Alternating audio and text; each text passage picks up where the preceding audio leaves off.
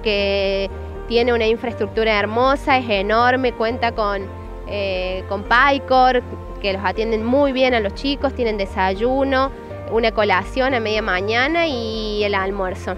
Acá son 18 chiquitos de primaria, 10 de jardincito, eh, en total son aproximadamente 15 familias y lo aprovechan al máximo. Ellos disfrutan la comida porque muchos, muchos es lo único que tienen. Muchos vienen a caballo, otros se dirigen en moto y muy poquitos en auto. El día que lo vi a Mati, eh, bajaba por ese camino que viene ahí hasta la rodilla, eh, hasta la altura de la rodilla del pantalón, todo mojado, todo mojado, zapatillas mojadas.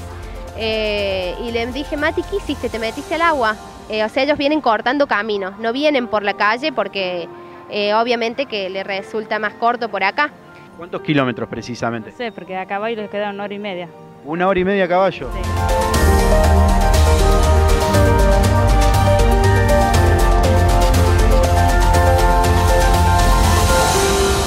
A mí me gusta mucho y tengo muchos amigos. ¿Y a vos, Luciano, te gusta el colegio? Sí, ¿Y a qué más te gusta jugar acá en el colegio? el fútbol.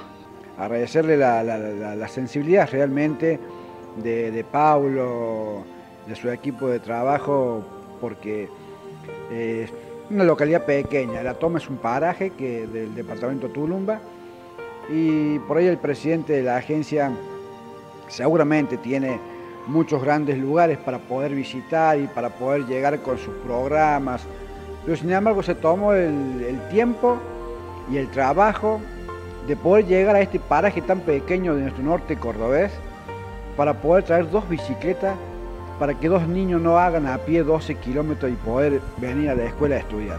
Eso realmente eh, a nosotros nos, nos llena de emoción y en este momento se me pone piel de gallina porque es algo que para nosotros, los norteños y quienes somos del interior del interior, solamente nosotros sabemos las necesidades que hay en este norte.